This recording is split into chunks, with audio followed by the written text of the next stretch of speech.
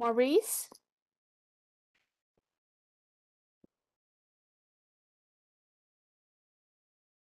Morning. Good morning. How's my sound level? Sounds good. Okay, thank you.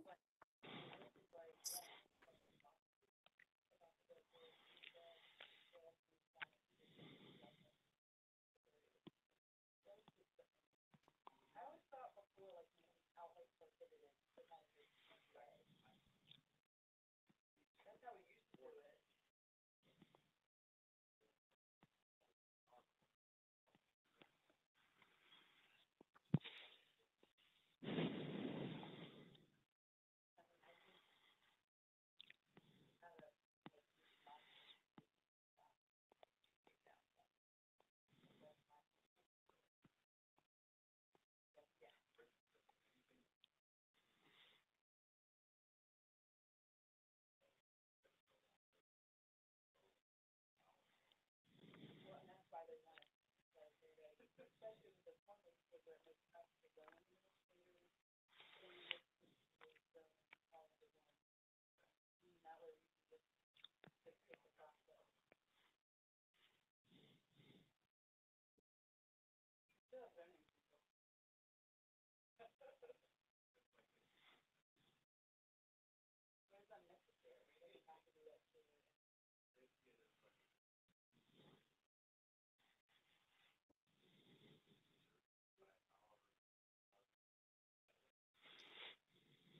Ms. Kukla?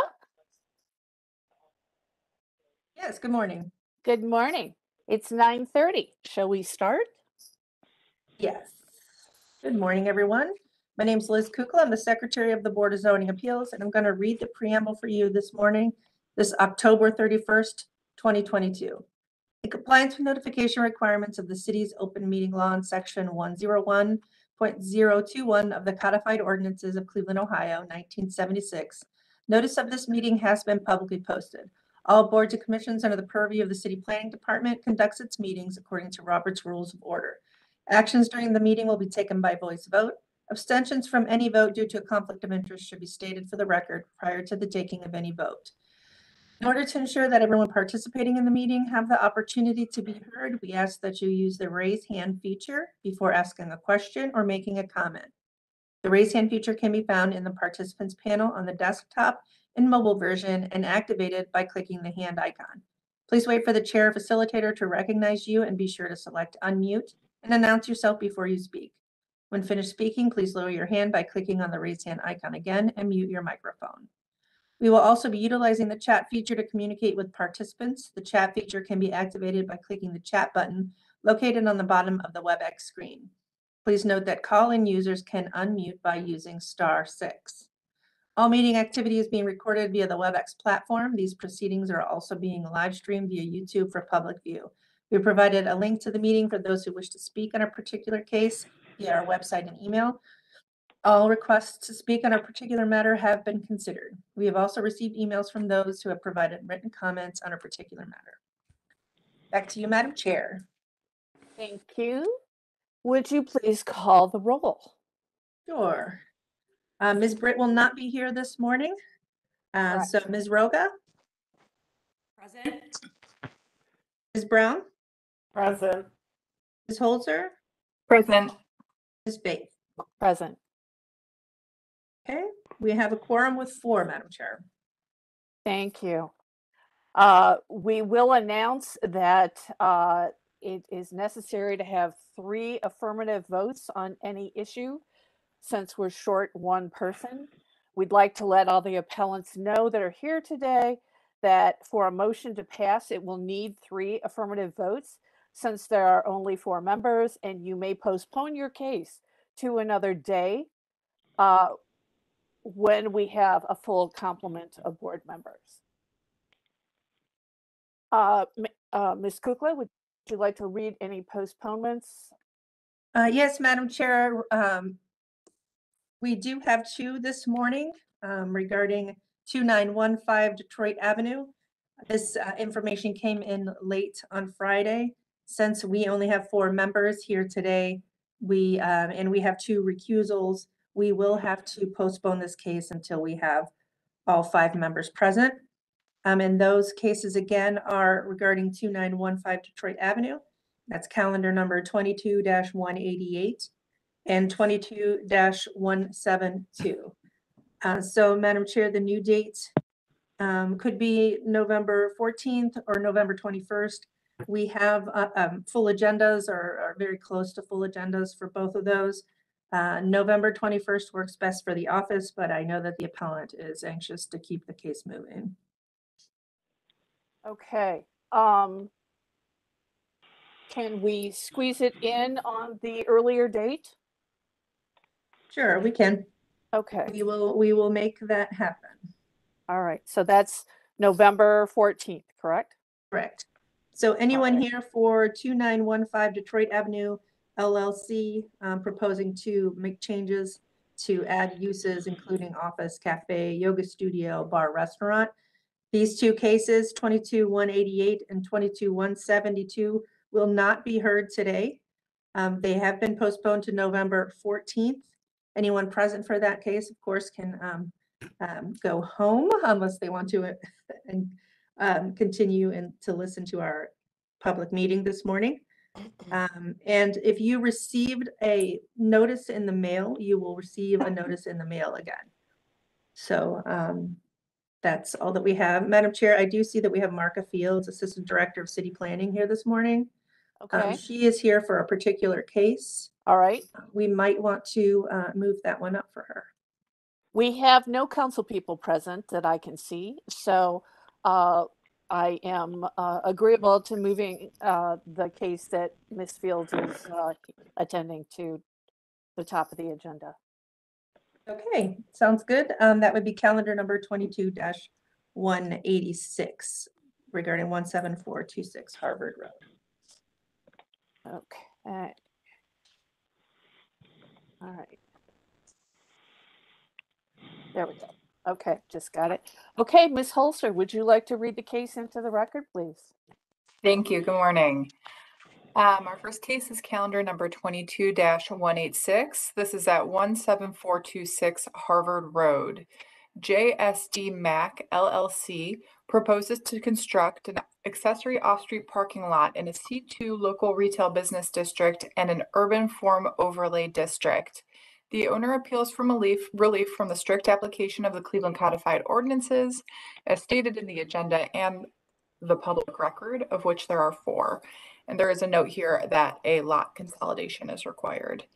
Um, and with that, I will hand it over to Ms. Brown for the oath. Good morning and thank you.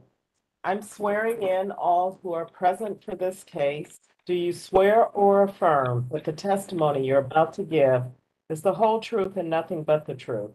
Please raise your hand, reply, I do, state your name and your address, please. I do. Mark Fields. I do. Sharon Reed. My address is five two two Kipling Court, Richmond Heights, Ohio. I do. This is William J. Fugo Jr. I'm the architect on the project, uh, 2424 Princeton Road, Cleveland Heights, Ohio, 44118.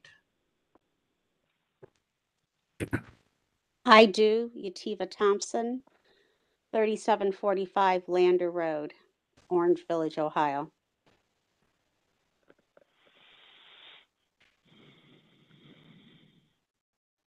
Anyone else for this case?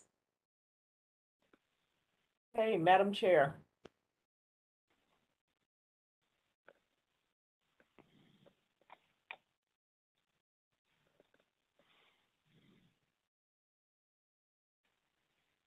Member Fay? Did we Thank lose? you. Okay, Mr. Fugo, are you going to be the uh, spokesperson for the appellant on this case? Um, I am. All right. So if you'd like to tell us what you'd like to do here? Oh, Madam Chair, we have the history first.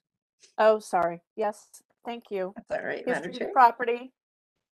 So, um, Madam Chair, you may remember this case in calendar number twenty seventy. Yes. A variance was granted to establish a parking lot at this site. Um, I believe that the, the variance rights have expired, so the applicant is here today to reapply. Um, I did send the resolution to Maurice Ruelens. I'm not sure if he has it available for the screen.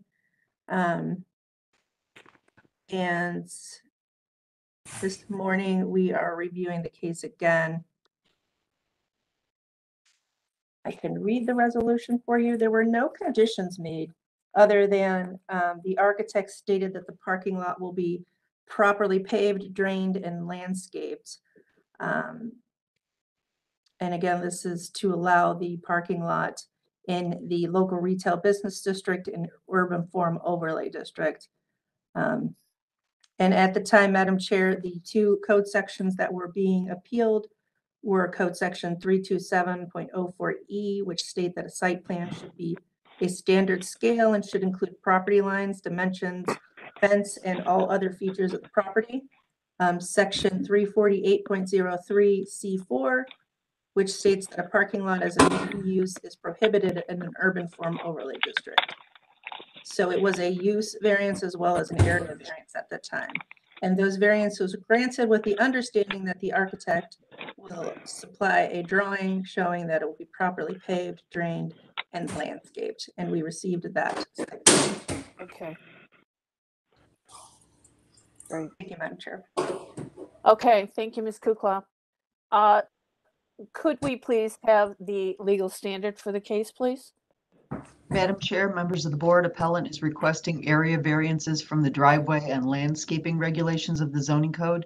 To obtain the area variances, appellant must prove that denying the request will create a practical difficulty not generally shared by other land or buildings in the same district, will deprive the appellant of substantial property rights, and that granting the variances will not be contrary to the purpose and intent of the zoning code. Thank you. Okay, Mr. Fugo. To you, would you like to tell us what you want to do here? Okay, um, just as background, the, that previous zoning um, appeal, that was uh, under a previous architect. So the, the drawings that weren't to scale, that had nothing to do with me. Um, we met all those requirements about kind of basic things. Um, this, well, we're, we're upgrading the site and it's already been reviewed by the architecture review design board and we meet their landscaping requirements. It's our understanding. Um, the improvements were made to the site before I was brought on. They put in an ornamental aluminum fence that you can see in the photographs that are based on what the previous curb cut and layout of the site was, um, as well as um, some security wood fencing on two of the three sides and a bumper plus railing on the west side. So we're asking for the approval of this with, with significant landscaping. There's this landscaping strip as required along the street with the current uh, curb cut.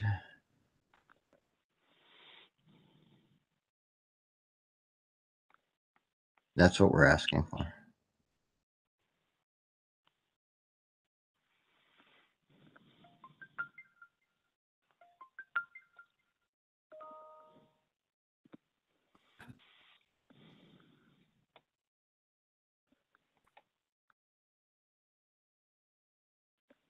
Sorry. Mr. Fugo, could you explain the parking that's along the street there? I see cars on the sidewalk. Yeah, um. That, that's pre-existing parking and I was not engaged to analyze anything other than the lot that's in the middle So that's previous. I had no, you know, that, that parking there predates my involvement on the project. So, um, it is their current parking, which their lot, this new lot will give them additional parking. Okay. Uh, so we have uh, Sharon Reed. Would you like to make comment? Um, I have, we have very little to say. We're just trying to improve the area. Um, and that lot that you see there with the um, fence around it, um, we got that approval. Um, we got a permit for that and it's approved. Um, when we first started, that lot was like a junkyard. And that's why we tried to hurry, get the fence up because people were, it had, uh, were dumping debris there. You name it, tires, mattresses. And, um, so once we got the lot cleaned up and got, you know, the border of the fence around, it improved a lot. And we, we keep an eye on it because well, that happened to us several times with them dumping bottles and it was just really really bad. I i guess we don't have any pictures of how it looked before but um so you know then we decided it'd be good to pave it so our customers can you know um, it get kind of muddy over there and stuff. And so then that's when we you know had we had a survey and there were three lots and we consolidated them that per you know the survey so we've been working on this four years going on five so that's about it so we just Okay. going So to you, the you are the building owner, Ms. Reed? yes i am Okay. And you mentioned that the three lots have been consolidated. Has that been finalized? yes yes Yes. Now, there was three permanent parcels they've been consolidated into one Okay, great. Mhm. Um, so moving on to Ms. Thompson, do you have any statement you'd like to make? Um, yes, good morning, everyone. Uh, thank you for the opportunity to speak. I am the property owner at forty sixty-six East one hundred and seventy-fifth. That property, that home there, um, is directly adjacent to the, um, property that's in question. Um, when you speak of the wooden fence, um, that was erected, um, that is directly up against my property. Um, I was never uh, notified that that fence was going up and given a chance to speak on that. I have uh, a huge concern because when that fence was put in, um, the aluminum fence in the front of the uh, owner, Mr. Miss Reed's property that was erected, there's gravel in that lot. And when that fence was put up, there were several, there's six huge boulders that were on the gravel property that were taken and moved to the driveway of my property. I know this to be true because I have photos showing where the boulders, the exact imprint of where the boulders were removed in the gravel, and then these boulders were put on my property. Um, Miss Reed, I didn't know that you were the owner of a property. Uh, a young man came out and spoke to me one day when one of his patrons was parked in the driveway of my property. And he presented himself as the owner. So I know we can't go back and we're speaking on the matter at hand, but I have contacted the councilman in this area for over a year and been put off. And I've gotten a quote of twenty-five hundred dollars to move these boulders that were placed onto my property. And the pictures, I mean, you know, you don't need to be, um, a brain surgeon to understand, here's the picture of the boulder, the exact shape, and here's the picture of where it was removed on your property, because whoever did it didn't have the common sense to take the gravel and go back over it and, and moved the spot where they had removed the boulder and placed it on my property. So do I speak with Miss Reed about this? Do I speak with this young man who presented himself? He would not give me his name, nor his email, nor his phone number.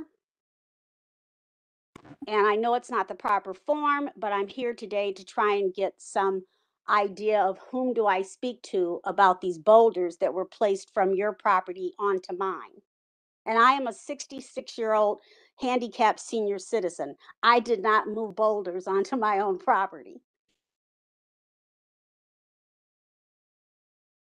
Well, um, we can speak if you want to give me your number, then I can speak to you, um, after the meeting.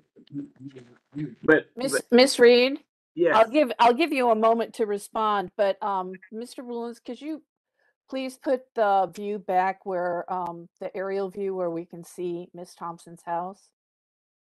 Thank you. So And Miss- I've been trying to sell that property and I cannot sell it because garbage from the bar remains to, like you said, Miss Reed, you know, people put mattresses and all kinds of, they come dumping things. And the garbage that's been on my property is the bags that have opened are directly the garbage from your bar. So Miss Thompson, your your home is directly is we're looking at this at this view. Your home is directly above the yellow square. Is that correct? Yes, that would be. And um, where were the boulders? The boulders, um, Miss Faith, are, my property is, if you look in the upper left-hand corner of the square there, see that home? Yes, that home right there. Mhm. And the boulders, because I closed and locked a gate because so much garbage was being placed back there. And the boulders were in that, in the back of that gate in the driveway area. And I have, I, I have over fifty pictures. Okay. All right. Uh, Miss Reed, you can respond now, please. yeah, um, we have no knowledge of the boulders. I am the owner, but uh, as I was saying, um, oh, that house, since we've owned it, it's been abandoned. And we, we have no reason to put, um, the trash, we, we've seen people dump trash, just like they dumped it on our yard. We have a dumpster and we have it, um, the uh, trash picked up twice a week. So we don't, that's not our trash. We have no reason, we wouldn't do that anyway. Miss Reed, could Hmm. you tell me about the boulders? Did you uh, Uh, or one a contractor you may have hired place the boulders in that position? No, I, we wouldn't do that. The contractor would not move. Um, it, it was a short fence because it was already existing wood fence and we just, um, added on to the end of it. But, Okay. Um, no, we wouldn't do this. All right. Thank you. Um, Th- This all predated my involvement, but if you see where the fence jogs to the south, yes. part, part of that was, they were put in at two different times. I, uh, the longer part that's closer to Mrs. Thompson's house, that's older than the rest of it. So I have no idea, history of this, but they are, they were put in at two different times. Okay. Thank May you, I Mrs. Hugo. Please, um, I'm sorry, I can't see the raise your hand feature and I'm sorry to speak Sure. out. Briefly, Miss um, Thompson, please. Yes, thank you. Um, Miss Reed, uh, I would like to give you my email address so that you can send me your contact information and then I can send you the photos that I have in email so that we may review them together and go over this in a um, neighborly fashion and not bother the city with this. Okay, that'll be. good. So my email address Miss is Thompson, I just want to remind you that this is, um, this is live stream, so this is public meeting. So your information will be heard by the public. Miss Faith, can you give Miss Reed my email address? Um, we can go through our secretary for that, I think. Ms. Kukla, are you willing to do that?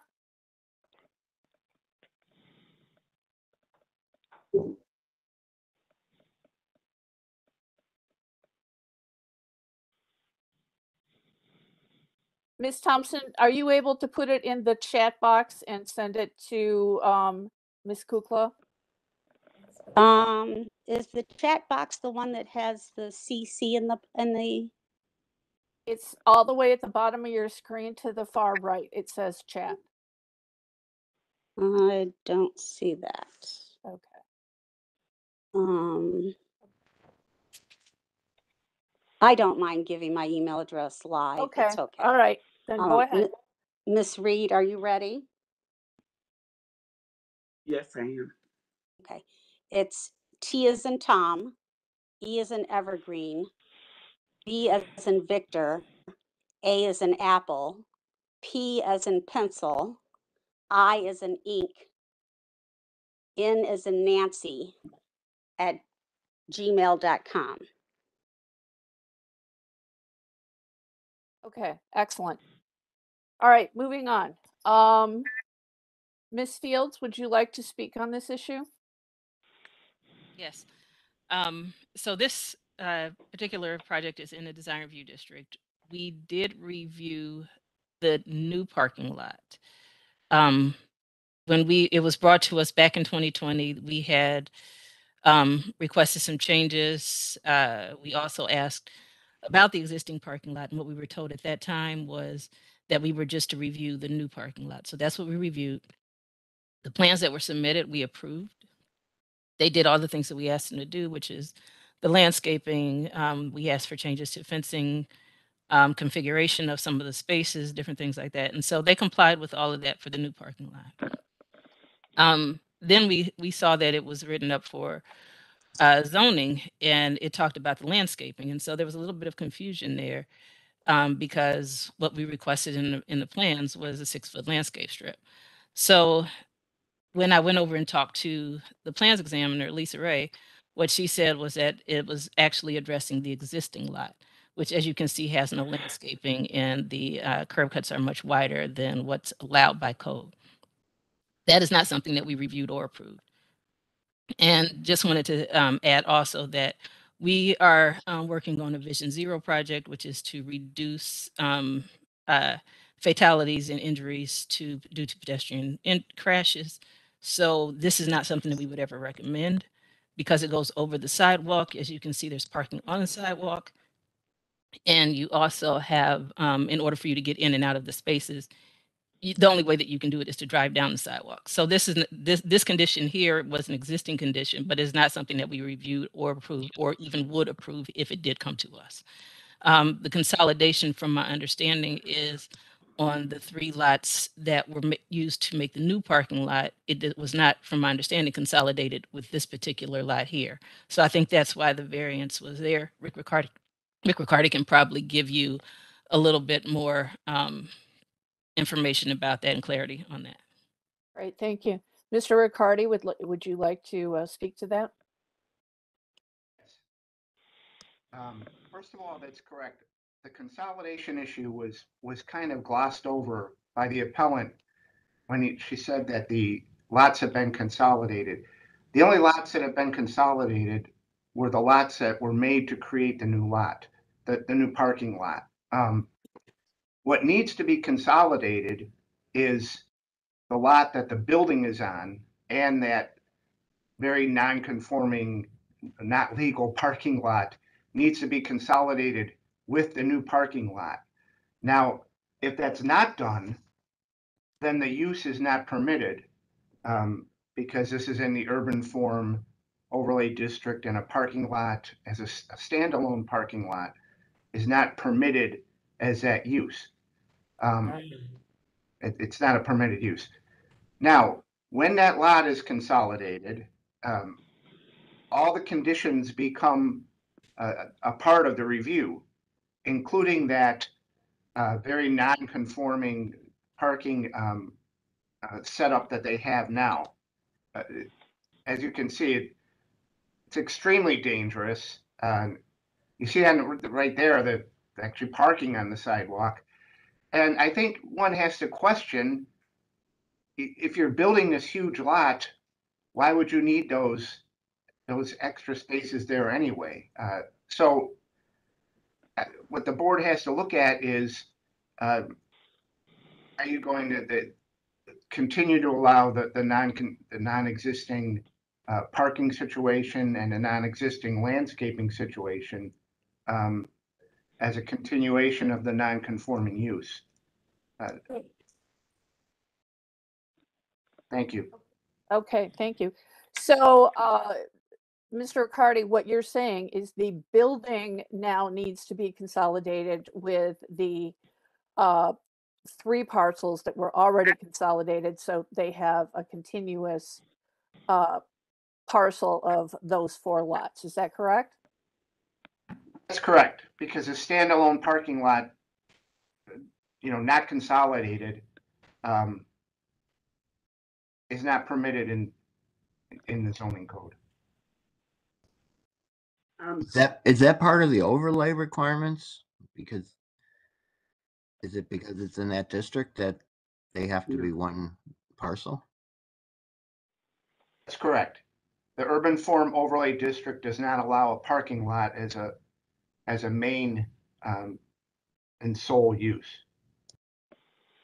Um, this was uh, raised, brought up before, and to my knowledge, and we discussed that, that the building does not have to be connected with the parking lot.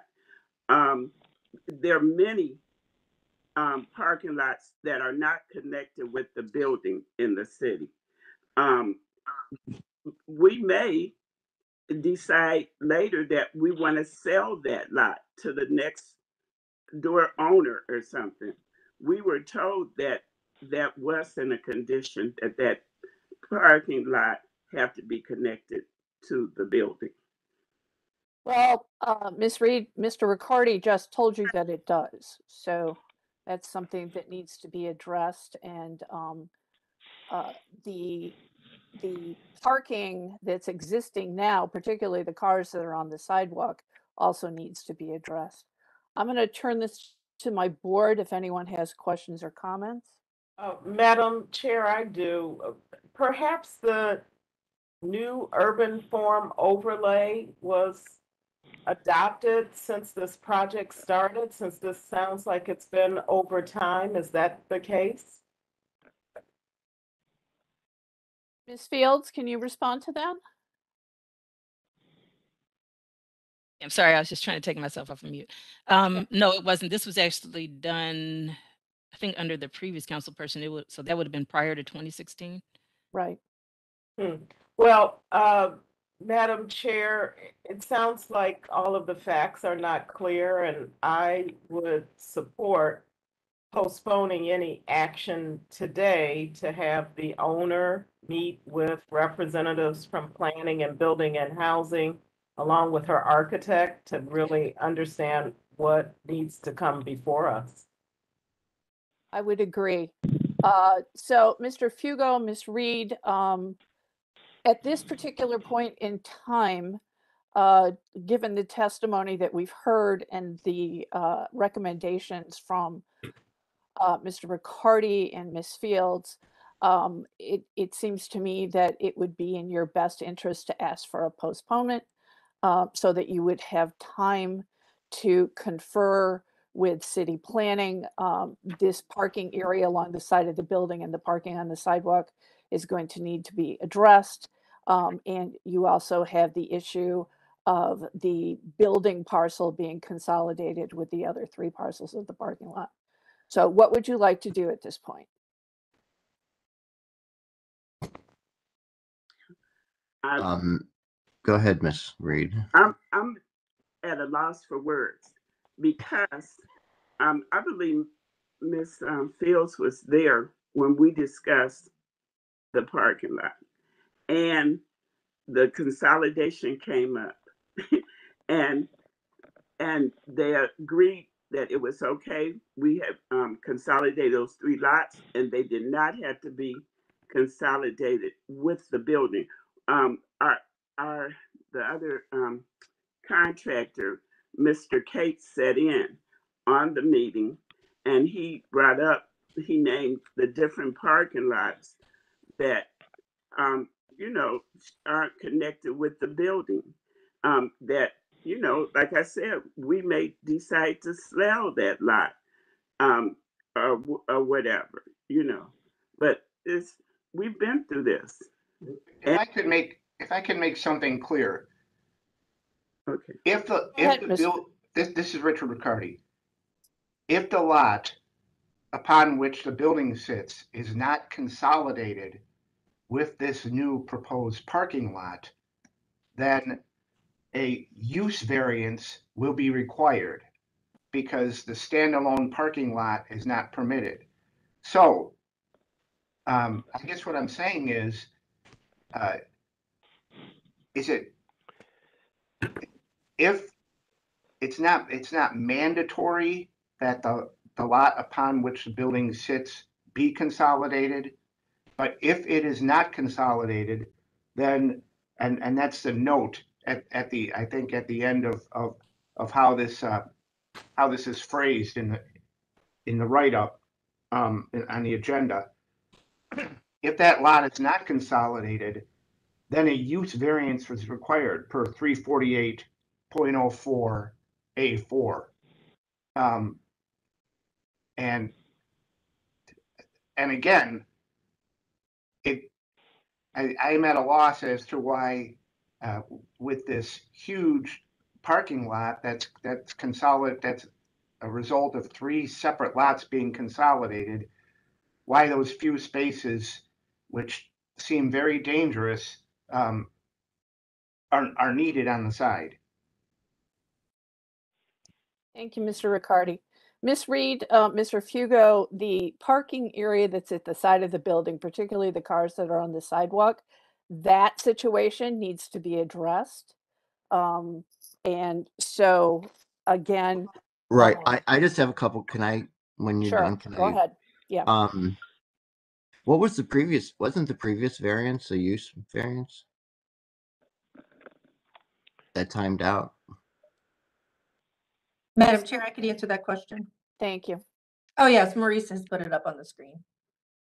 Yeah, section three forty-eight point zero three C four was mentioned in that adjudication that a parking lot as a main use is prohibited in the urban form overlay district.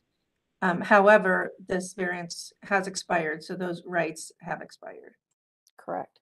Okay, I just want to make sure it was, it was granted once. Um, Well, it's not in this variance that's before us, right? I Right. don't see use as a stated Correct. exception here. So at this point, the motion before, us- well, not the motion, the calendar before us doesn't have a use variance, so it doesn't help you. So this has to get postponed and reworked. right, So, Mr. Fugo, Ms. Reed, um, we're, we're suggesting that you ask for postponement. Um, if we vote today, um, this may not go in your favor. yeah. Madam um, Chair? Sorry to interrupt. Madam Yes. Chair. Yes, We need to repost this. Um, this, the right, the proper information did not go out. So the question would be to the appellant. Um, it doesn't sound like she wants to consolidate, um, but if she did want to consolidate, um, the, the correct information is there and the consolidation can come later as a condition. But if the appellant is stating on the record that she's not going to consolidate, then it has to be reposted that this will be a standalone parking lot. thank you. And so the, the soonest date that we can get that on the agenda would be November 21st. Okay. Ma- Madam Chair, may I say one more thing to the owner? Yes, either way she goes, it would be in her interest to address the condition that's on the east side of the building. correct.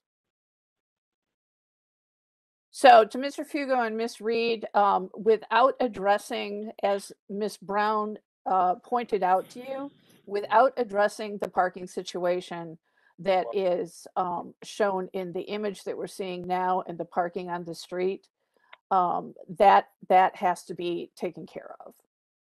Um, whether, whether you consolidate the lots or not. I am Mr. So, I am a co-owner of the property. You have to be sworn in, sir, if you'd like Yeah. to speak. Uh, can I be sworn in? Yes, sir. I'm happy to do so. Do you swear or affirm that the testimony you're about to hear is give is the whole truth and nothing but the truth? Please raise your hand. Reply, I do. State your name and your address, please. I do. James Reed, five, five two two Kipling Court, Richmond Heights, Ohio, four four one four three. Thank you, sir. Go ahead. Uh, I'd like to say this, that, um, one thing about it, if we get this parking lot, that, it, that, that, that, that problem would not exist. The reason that that problem exists is because whenever it rain or snow or something, it's too muddy over there to park. And this is why we need that parking lot to clear this area. And besides this, the, the, the, the, the building and the businesses next down the street on Harvard, they have, uh, handicap, uh, lanes for, for the handicapped to drive the, the, uh, wheelchairs in and everything. And they don't not only block that, but they block the sidewalks, everything, and there's nothing done about it. They park on the side. They even park all the way from our existing business all the way down to where the, where the fire department is, On the side. on the sidewalk. And there's nothing done about it. There's nothing said about it. All we're trying to do is make the area better, but it seems like no one wants this to go through. We've been trying to do this for four years. It's consistently costing us treacherous money. And every time we have this meeting, there's another problem ex- co- come up.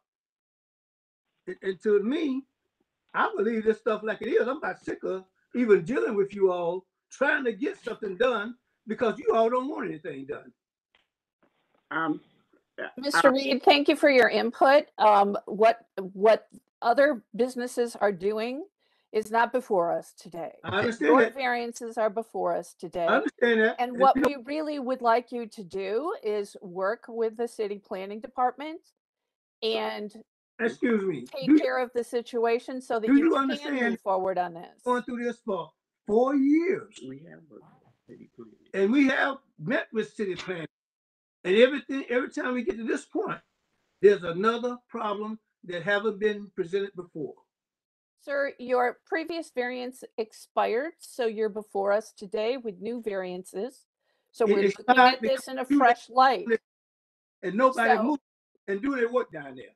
I can appreciate your frustration, but we'd very much like to have you work with city planning to get things resolved so that you I- can move forward. I'm recommending to the owners that we do postpone it.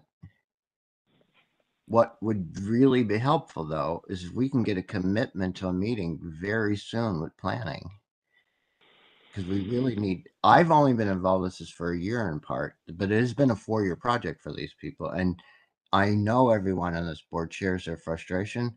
We want to achieve this goal. So if we need to postpone it to make the next step, but I really would like a commitment to a meeting. Even I, I'll set a date now if we can with the city planning because we want to get this going. Because I'm engaged to do the yellow part, you know, but expanding it and getting this completed is the goal. Correct. May I speak, please? Um, this is Miss Thompson. I don't, I see the hand button and I've pressed it several times. Um, the parking on the sidewalk there is a regular occurrence. It's, it's as long as the, um, bar is open, there are cars parked on the sidewalk at all times. And when you stated that it looks like it's a very dangerous, um, thing, it is. It's, it's extremely dangerous. I've seen children on bicycles, I've seen people walking, I've seen cars hit one another because of that parking on the sidewalk. I don't know whether um, changing anything there would make a difference, but I would ask that he could have his patrons please stop parking on that sidewalk and in my driveway. Um, because it is a very extremely, there is a gas station across the street on 175th of Sunoco and it's busy all the time as well. And it has two entrances on 175th and one entrance on Harvard. And cars are just swerving and moving constantly from that um, gas station. And it makes 175th right there at that property an extremely dangerous place. Thank you for that input, Ms. Thompson. And I did find the chat button. I sent Miss Reed my information and asked her to send her email back. She has not responded. Okay. Um, we will give her, the- uh, she will, um, thank you for sending that to her. Uh, um, we will, hopefully she will respond to you later. Uh, Ms. Fields, um, are you able to set a time to meet with the architect? Yes, I can, uh, as soon as this meeting is over, we can uh, connect and uh, set a date sometime this week. Excellent, okay. So, Mr. Fugo, um, are you asking for a postponement? We can move you to, um, I believe the, uh, uh, 21st of November, is that correct, Ms. Kukla? Uh, yes, Madam Chair, and, and for the record, the, the board can postpone themselves. Okay, Uh, We don't, we don't necessarily need the appellant to ask for the postponement. And all right, um, since it is a, a situation that the, all of the correct information was not posted to the um, public, then i- a postponement would be necessary. okay. Uh, board, shall we postpone? Do you have objections to that? No objection. No objection. Okay, great. objection. All right, so we'll po- postpone to the 21st of November then. Thank you, Ms. Kukla. Thank All right, next case, please. All right, our next case is calendar number twenty-two one eight three. This is at three-two-four-four St. Clair Avenue. Joe Lasik proposes to add patio outdoor seating and change the use from store to one dwelling unit to, and one dwelling unit to bar restaurant and one dwelling unit in a C three semi-industry district and a live work overlay district. The owner appeals for relief from the strict application of the Cleveland codified ordinances as stated in the public record and the agenda, of which there is one. And with that, I will hand it over to Ms. Brown for the oath. I'm swearing in all who are present for this case. Do you swear or affirm that the testimony you're about to give is the whole truth and nothing but the truth? Please raise your hand. Reply, I do. State your name and your address, please. I do. Uh, my name is Gerard Goody. My address is 5015 Herman Avenue, Cleveland, Ohio, 44102.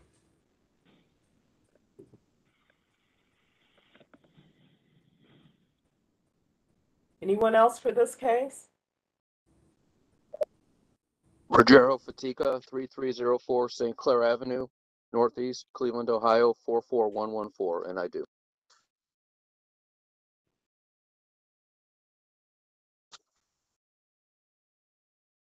Madam Chair, is Mr. Gerard representing the owner today? Mr. Gerard Goody? Yes, I am. And do we have a letter from the applicant saying that he is approved? Uh, I did drop a agent authorization form into the um, zoning board of appeals this morning. Yes, I have that, Madam Chair. Okay, great. We can move forward then. Thank you. Okay, history of the property? Thank you, Madam Chair. There's been no change in the underlying zoning since 1929. It remains in the semi-industry district. Um, It was placed in the Live Work Overlay District in 2002. In our Records Administration Office, we only found that in 1940, there was a permit issued to replace brick piers for a storefront. And in 1941, a permit was issued to erect a private garage. And then in 1953, a double-faced neon sign was erected on the property. And then 1968, a permit was issued to erect a chain link fence and a guardrail. Uh, There are no variances on file and nothing of note in the more recent history. Thank you. Thank you, Ms. Kukla. Could we have the legal standard, please? Madam Chair, members of the board, appellant is requesting an area variance from the off-street parking regulations of the zoning code. To obtain the area variance, appellant must prove that denying the request will create a practical difficulty not generally shared by other land or buildings in the same district, will deprive the appellant of substantial property rights, and that granting the variance will not be contrary to the purpose and intent of the zoning code. Thank you. Uh, Mr. Goody, would you like to tell us what you'd like to do, please?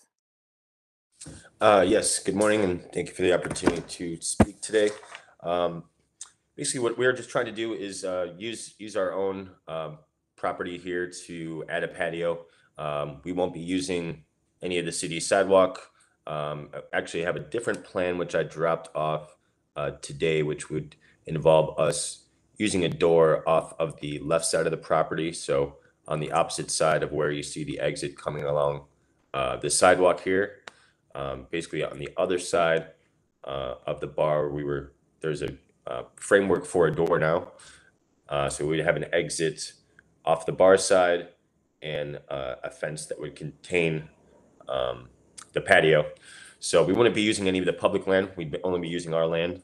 Um, Madam Chair, I'm sorry to interrupt, Mr. Goody, but I do have No problem. that site plan or the floor plan. Um, and I can scan that over and send it to Maurice if you would like to see it. I think that would be very helpful. Thank you.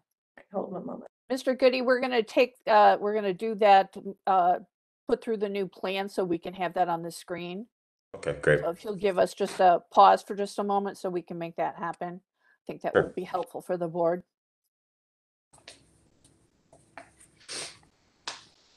Madam Chair, while we're waiting, may I ask a question? Do you have an operator for the bar and, and kitchen? I'm sorry, you have an operator? Someone who's gonna u- uh, perform the business there?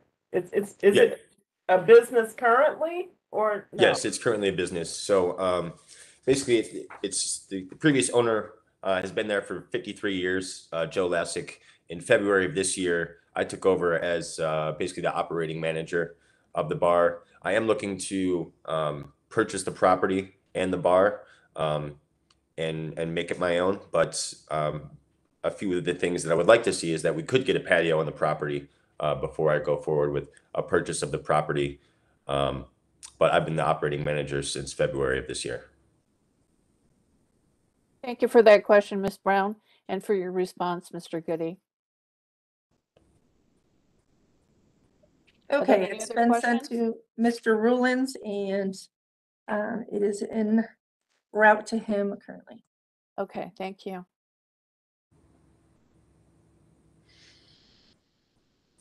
Um, How Also, long if I has the can- business, I'm sorry, how long has the business been operating under your oversight? since February of this year. Since February. Okay, thank you. Yeah, it's been in operation since 1921, so there is a lot of history. Uh, I believe it moved over to this property uh, in the early 40s. Um, and as I said, the previous owner has been there for 53 years. Um, there was the original application was denied for lack of off-street parking. Uh, my my current proposed plan has six off-street parking spots. The requirement was for 10 off-street parking spots. I have come to an agreement with the owner of the parking lot across the street, and I have leased uh, 10 parking spots from him. It's uh, directly catty corner from our building. Uh, they have a large parking lot, and I signed a five-year lease uh, with with that owner to satisfy our off-street parking. Um, our businesses operate at different times of the day. Uh, them them being you know a daytime uh, office, us being a bar and tavern. Uh, we're operating at night, so there wouldn't be really any um, conflict with uh, with timing of the lots. So uh, I think we'll have plenty of parking to satisfy our off-street parking requirement. Have you signed And- this lease for the parking, Mr. Goody? Yes, that was also dropped off to the uh, Board of Appeals this morning. Okay. All right. Ms. Kukla, do we have that in hand? Do you know? Hold on, give me one moment. All right, Yes, I do see one all right. here and. So it's with for that 10 park- lease, that's for ten parking spaces. Correct. Okay, great, So with Uh, that, we could- technically have 16 off-street parking spots with that lease, great. with the six existing on our property still. Thank you. To the board, any questions or comments? Madam Chair, I have a, c- a question. The garage that's on the property, is that not going to be used for parking? No, that's uh, that's still being used for storage. The current uh, owner has that uh, pretty jam-packed with uh, an old Buick Regal and uh, other items that um, we will not be using the, the, the garage for parking. Okay, thank you. Any other questions or comments? Madam Chair, I do have a comment. This is Liz. We don't know if those parking spaces are legal. Um, I don't think they were reviewed by Building and Housing. Uh, as you can see, they're head-in parking spaces and they would go across the sidewalk, similar to the last case. Uh, I Yes. would back onto Superior Avenue or, or, yeah, back onto Superior Avenue as well as East, uh, Thirty-third Street. Um, so just so the board knows, this was not reviewed o- under the, uh, Building and Housing review. And, um, we don't know if they're legal, so Um, I'm not sure, just, just so the appellant knows that we are not making a decision on those parking spaces today. And those are the parking spaces that are on his property, correct? That's correct. Six that are on his property. But he does have That's better. ten under the lease. That are being proposed for the property. There's no parking on the property right now. Okay, thank you, Mr. Ruelens. Okay, Correct. And Mr. just to Could you clarify, just verify that those were not on the original site plan? I'm, s- I didn't see them. uh, those were not, and, um, just to clarify, they would not be, the parking wouldn't be on the sidewalk. There is enough, more than enough space for cars to pull in, uh, in, and not be on the sidewalk and be completely on our property. May I ask a question? Are- Is there a curb cut to get to those parking spaces? Yes. any other questions or comments, board? Uh, can we see the, f- that, that picture? Yeah, so there's a curb cut to the right there. It looks like it's cut, it cuts off. We can't tell.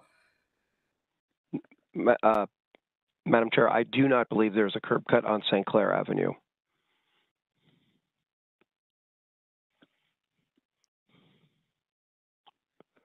Well, he, we have a copy of the ten parking spaces that will be leased.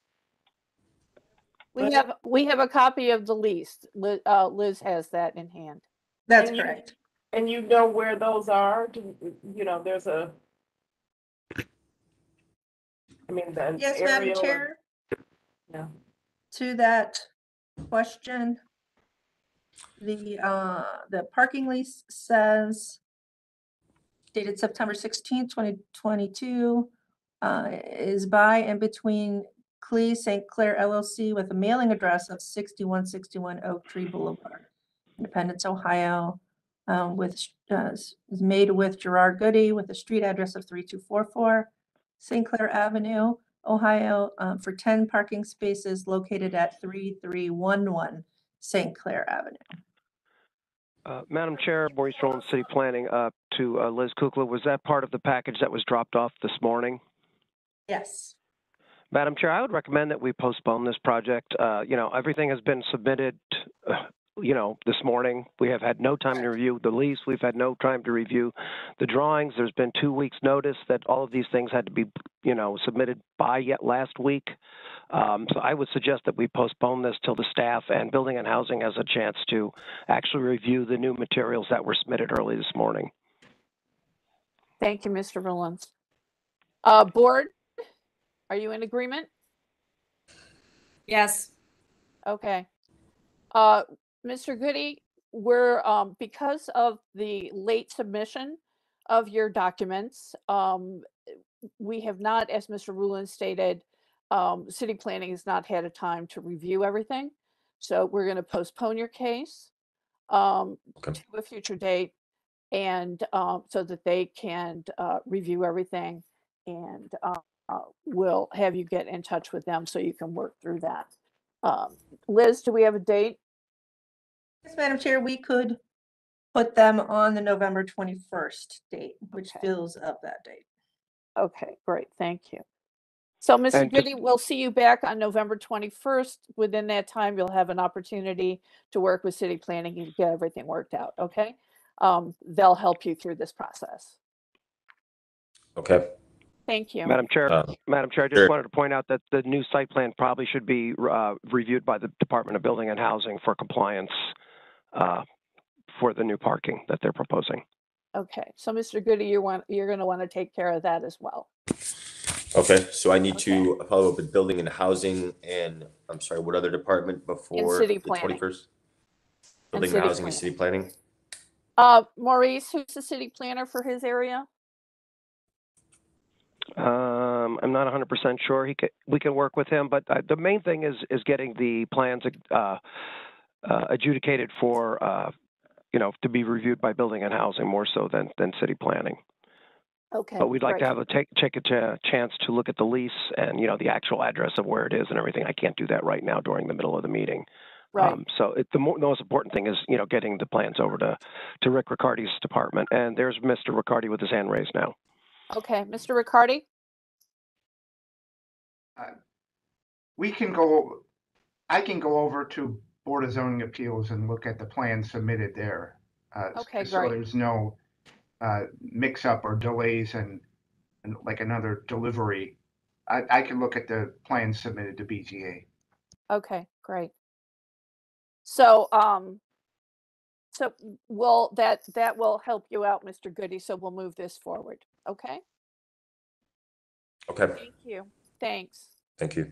All right, uh, next case, please. Thank you. All right, our next case is calendar number twenty-two one eight four. This is at one two zero nine Clark Avenue. Scott Sosenko proposes to build a parking lot in a K two limited retail business district and an urban form overlay district. The owner appeals for relief from the strict application of the Cleveland codified ordinances as stated in the pub- public record and the agenda, of which there are four. And with that, I will hand it over to Ms. Brown for the oath. Thank you. I'm swearing in all who are present for this case. Do you swear or affirm that the testimony you are about to give is the whole truth and nothing but the truth? Please raise your hand, reply, I do, state your name and your address, please. I do. Uh, my name is Richard Sasenko. The address is twelve oh one Clark Avenue, Cleveland, Ohio, four four one oh nine. Corey Riordan, Executive Director, Tremont West, twenty-four oh six, Professor, I do. Uh, Donna Gregonis, twenty-four oh six Professor Avenue. I do. Anyone else? Okay, Madam Chair. Great. Could we have the history of the property, please? Sure, Madam Chair, this property was originally zoned general retail in nineteen twenty-nine. In two thousand and fifteen, it was changed to the limited retail district.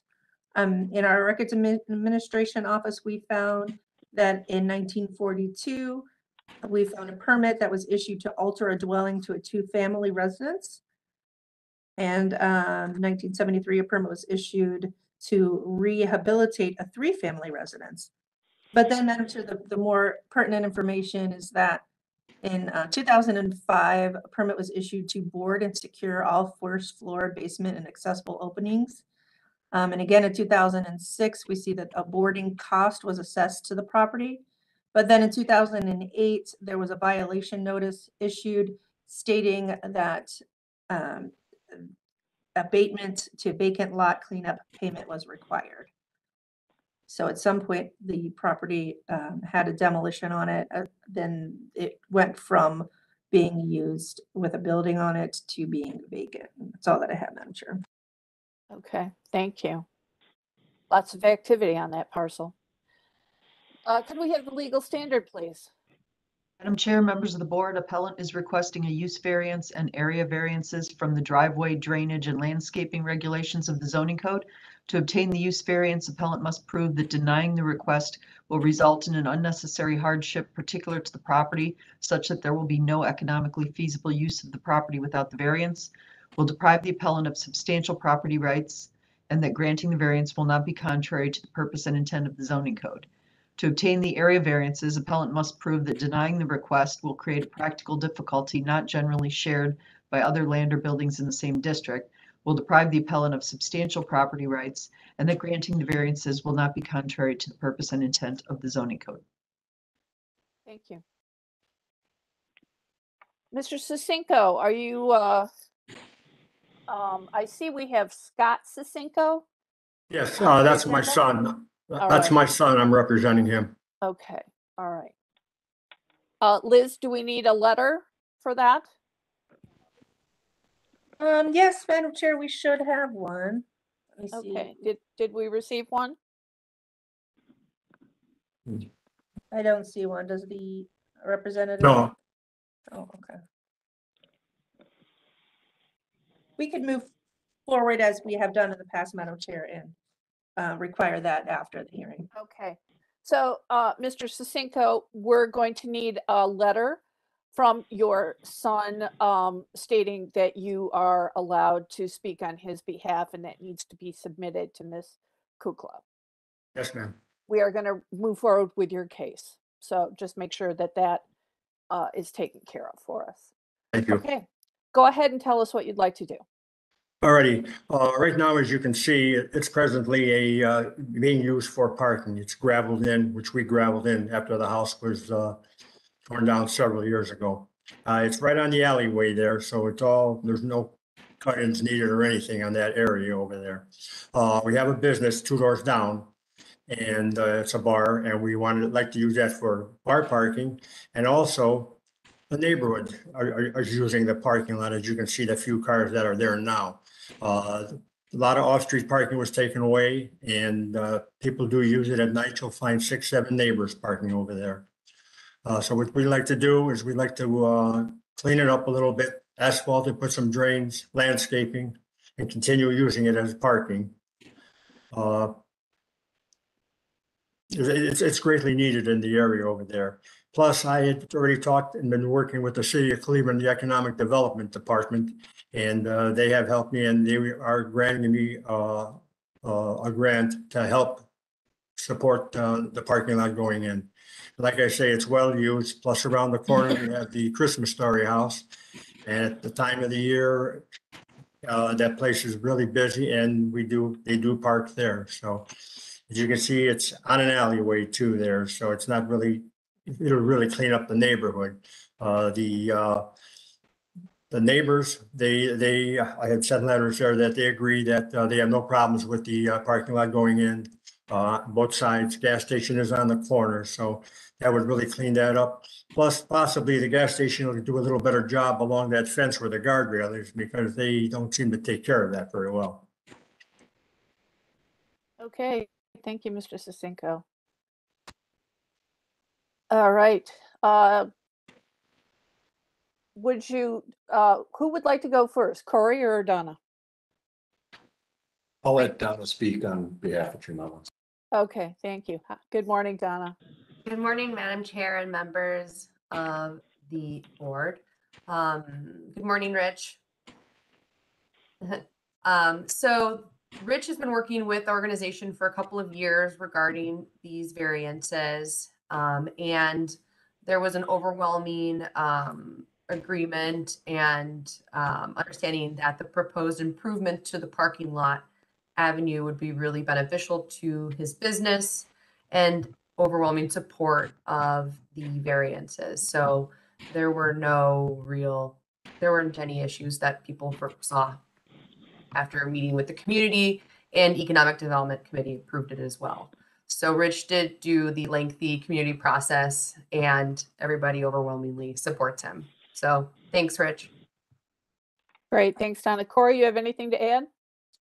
No, uh, I, I, well, I'll add one thing is that it has been a long time coming. We've been working with the city of Cleveland on this for over four years to uh, create a better parking environment over there. It's, it's very needed for the community and we support it as does the Economic Development Department. All right. Board, any questions or comments? Yeah, actually, I do have a question. So you need the parking for your bar. You also said neighbors need the parking because there's been a loss of that. And it also fills as overflow parking for, you know, attractions. So how does that all get managed? Will neighbors have an assigned space? Um, is it just first come, first serve? What's the thought about operation really using the space? Well, as you see, there's that big house that's right next door, and that's a three-family, so I have four or five cars out of there. Well, we allow them to park in there because we're neighbors. Uh, we're gonna allow the parking toward the back of the lot, like when you see that pickup truck, we're gonna give them four or five spots, and that'll be their spots. And they'll leave the front open for, uh, bar business and, uh, overflow parking. That sounds like a good plan. Thank you for, for your reply. We, we will, we will be taking care of it. Uh, we're not, we're not charging anybody to park there. We'll be doing the plowing and the cleaning over there, uh, all the time. Thank you. Excellent. Thank you, and thank you for that question, Ms. Brown. Uh, city planning, do you have anything to add? I actually have a question. Oh, go ahead.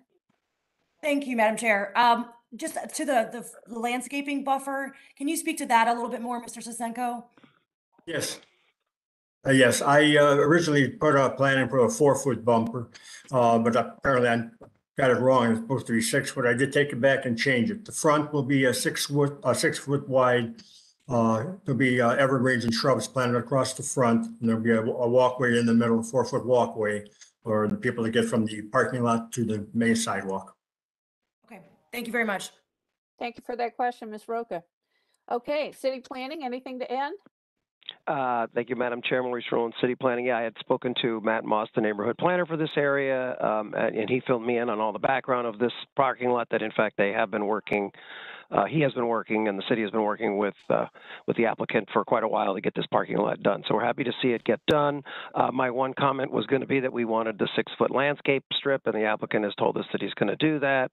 Um, The only other question I have, is it possible to move the, uh, the entrance closest to uh, Clark Avenue, the 15 feet back that is required by code, so the entrance and exit from the parking lot isn't so close to the Clark Avenue uh, uh, intersection with West 13th Place. There's really no, no- nothing I can, I can move it back to the lot farther if you prefer. Yeah, that is no problem. We can put it a little farther back.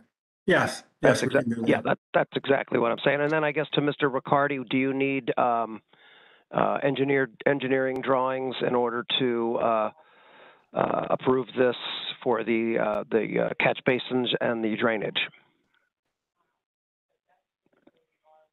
Yes, that would be required. Um, tho- those plans are sent to Water Pollution Control for, you know, for their review and, and that is what they require, yes. So just, that's just for informational purposes, but we, uh, we totally support this, uh, this uh, parking lot. Okay, Mr. Ruelens, um, either of those things need to be a condition to the, to the proposal here? Well, the, the engineer drawings, yeah, I don't believe, uh, Building and Housing can sign off on those, uh, and issue the permits until they have something to review. Okay, great. All right, anything else, board? Madam Chair, this is Liz. Yes. So that, that is a good question regarding gra- grading and drainage. Um, do we see, Maurice, I can't read it very well. Do we see the location of the drains? Uh, I believe the applicant stated there would be drains installed. It does look like the circles are drains, the Cs on there. Oh, no, that's guardrail. I, I'm not really sure. We probably need a better drawing. And an engineered drawing would have all of that on there. So we definitely need a better drawing than, than what's shown. Okay.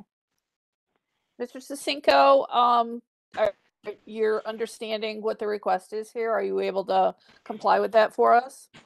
Yes, I am. Okay, great. All right, anything else? Board?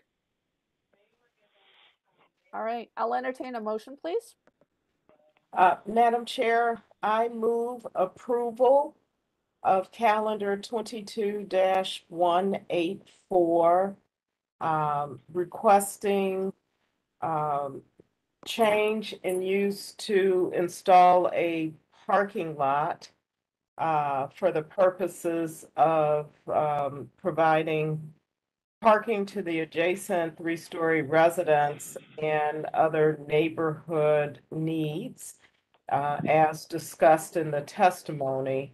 Um, the approval is conditioned on submittal of engineer drawings identifying drains, uh, as required. Um,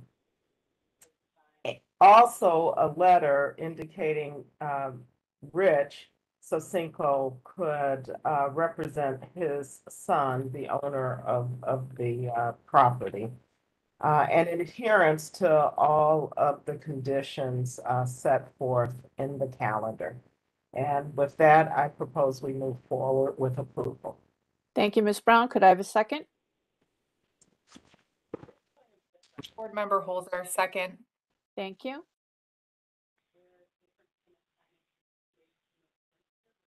Uh, Ms. Kukla, sorry, I just had to decline a call. Uh, Ms. Kukla, could you call the roll, please? Sure Thing. Ms. Roga? Yes. Ms. Holzer? Yes. Ms. Brown? Yes. Ms. Ba- Yes. Calendar number twenty-two one eighty-four is granted conditionally. We will hold ratification until we receive that site plan showing the drainage. And once we receive that, we will send the appellant a letter. Thank you. Thank you, Mr. Susinko. Good luck to you. Sounds like you've got a lot of support. Thank you very much. All right. Thank you, everyone. Thank you. Good to see you. Uh, okay, next case, please. Next case is calendar number twenty-two one eight nine. This is at one four four six West one hundred and fourteenth Street. Teresa H. Woodland proposes to build a new garage and shed in a B one two family residential district. The owner appeals for relief from the strict application of the Cleveland codified ordinances as stated in the public record and the agenda of which there is one. And with that, I will hand it over to Ms. Brown for the oath. I'm swearing in all who are present for this case. Uh, do you swear or affirm that the testimony you're about to give is the whole truth and nothing but the truth? Please raise your hand, reply I do, state your name and your address, please. Um, My name is, uh, I do. My name is uh, Frances Woodland. I live at 1446 West 114th Street. I am a homeowner. It's owned by two people. I'm the second person on the, on the um, title.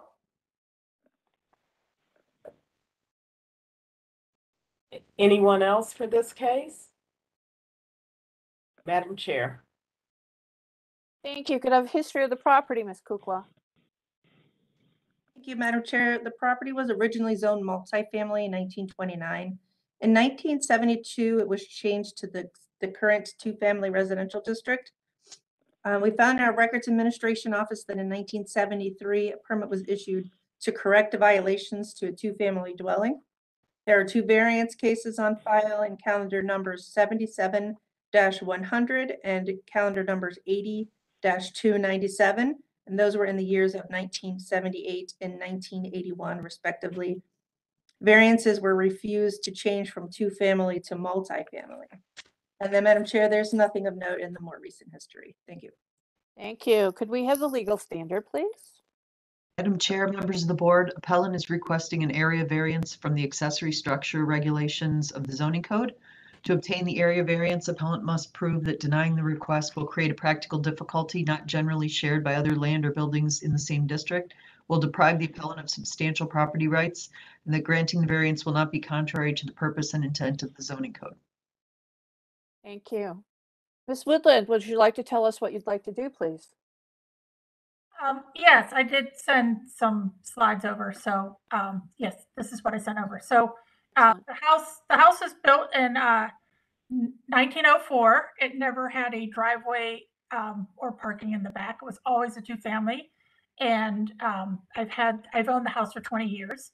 And, um, due to the fact that it's a two-family, it's much deeper than the other houses on the street. So my backyard is very precious, the space that I have. I do enjoy using my yard a lot. As you can see, I have lots of flower gardens and vegetable gardens around um, my property. And so I want to utilize every uh, sort of square foot or square inch of my backyard when I put in a um, shed, a separate shed and garage building. If you want to go to the next slide. So I'm proposing two separate buildings just because typically if you build a what three car two and a half car in order to get some storage, I would have a very narrow strip of property um, on the left-hand side of the property. And, and in most cases, when that happens, um, it's kind of abandoned land. It's not really utilized very well. Um, so I'm preparing, proposing these two separate buildings and I want to push them as close to the property line as I can, noting that there are some, some um, building code restrictions. So, um, uh, so that's what I'm showing on these documents, the one foot from the property line on both sides. You can go to the next slide.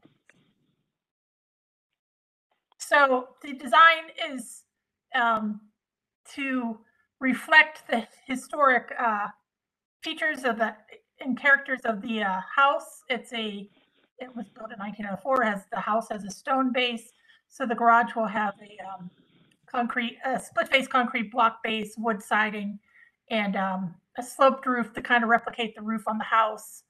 Um, and I want to maximize the non-paved areas between the shed and the garage.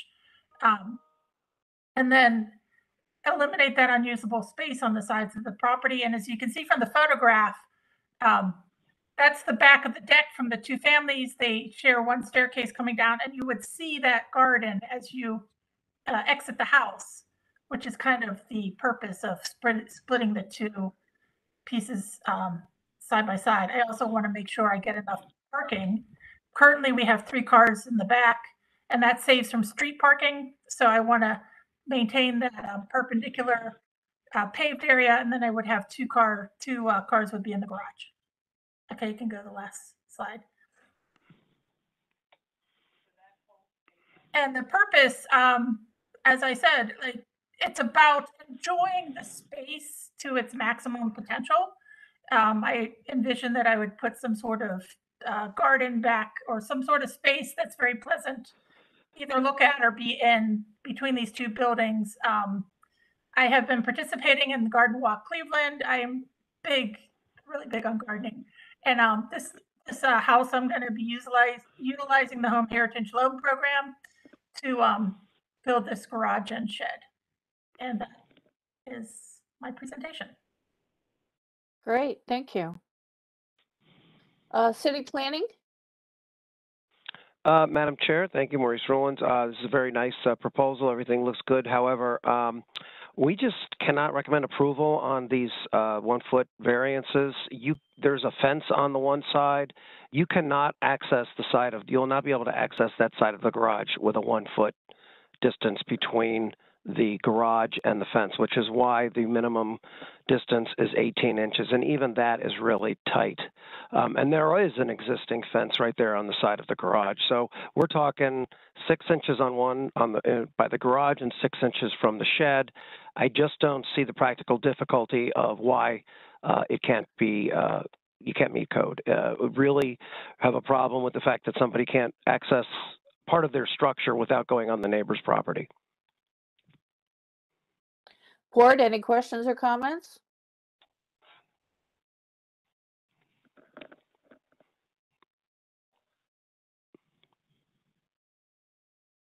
Uh, Ms. Woodland, would you like to respond to city planning's comment? Yeah, I I understand the concern with the access of the fence, and I was not intending on putting back, working with the uh, my neighbor, and not putting that section of fence back. Um, and I understand that I would have to access their property if I need to get to the side of the garage.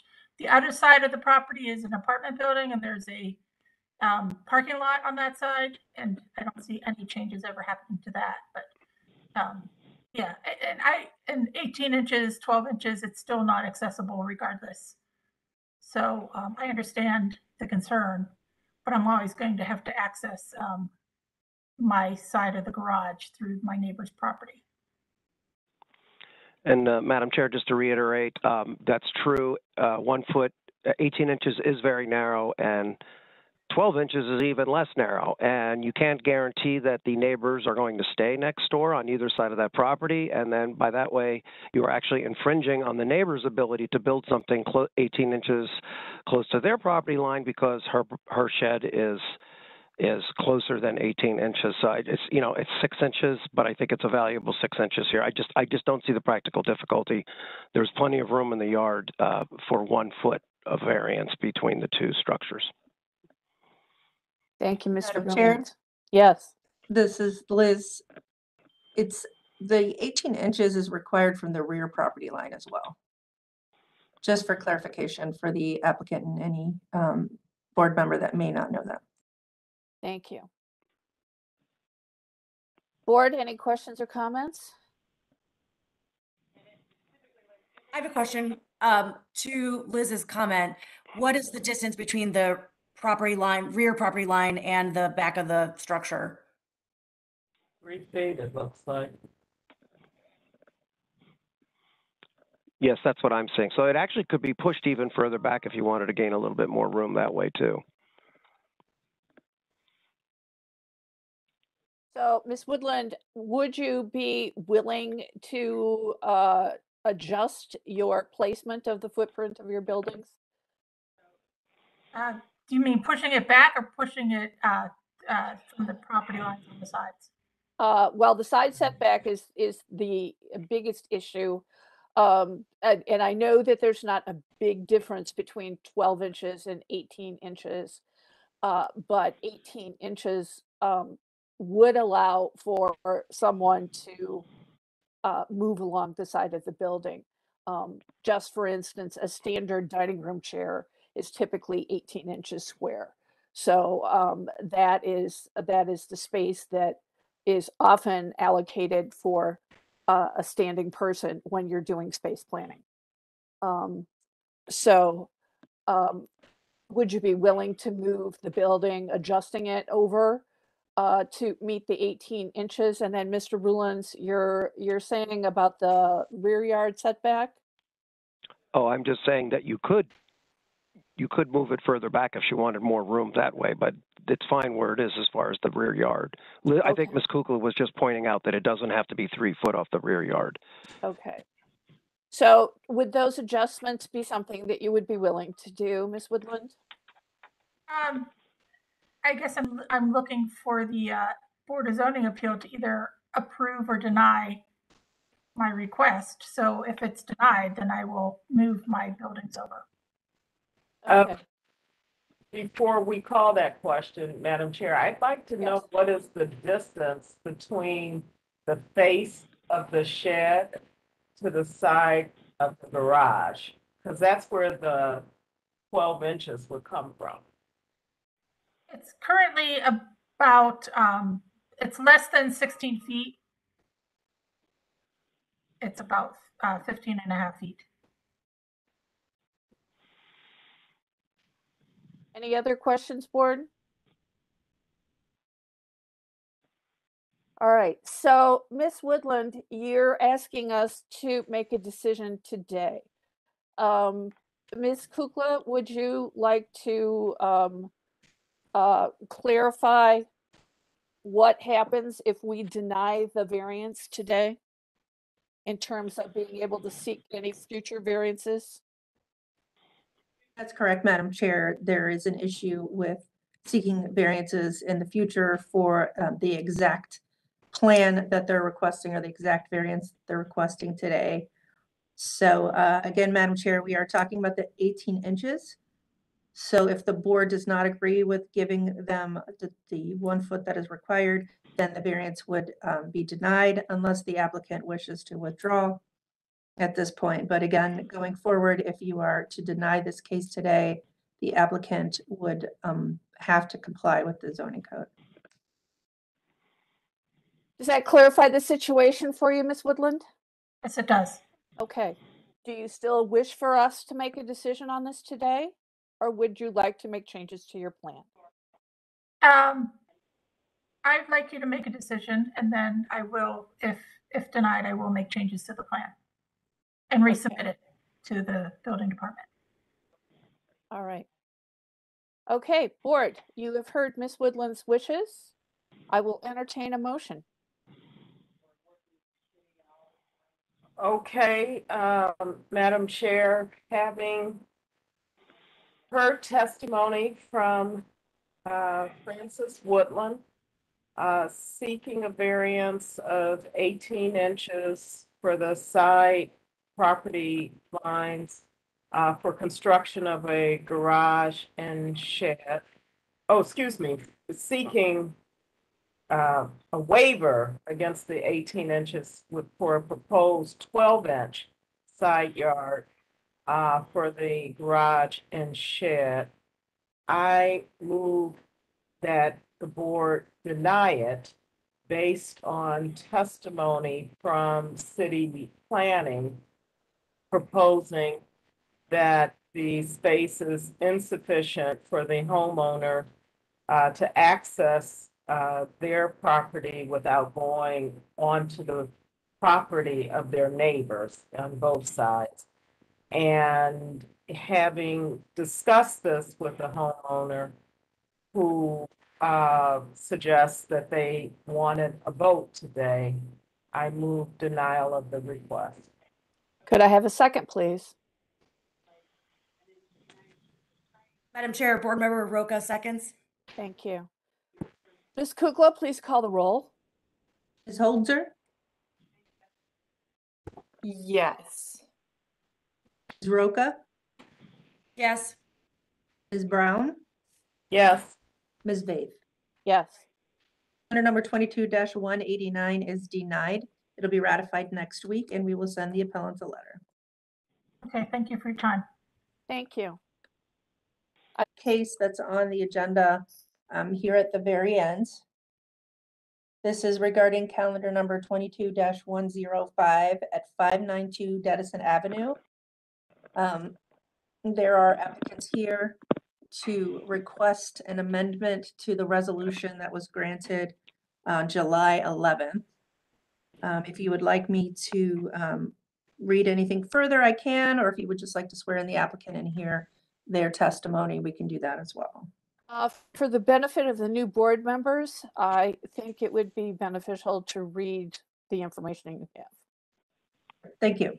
Calendar number 22-105 regarding 5902 Denison Avenue. DC Kelly Investments proposed to establish use as a CBD sales on the first floor of an existing three-unit apartment building in a local retail business district. Um, at the time, these code, the following code sections were requested um, variances for relief from in a section 349.04 which states that fifteen pa- off-street parking spaces are required. um, and that six legally conforming parking spaces were provided. Um, one parking space was shown not legally conforming due to being within ten feet of the wall. Um, code section three forty-nine point zero seven A states that an accessory off-street parking spaces, driveways, and maneuvering areas shall be properly graded and drained so that the water is drained within the lot, providing such parking spaces.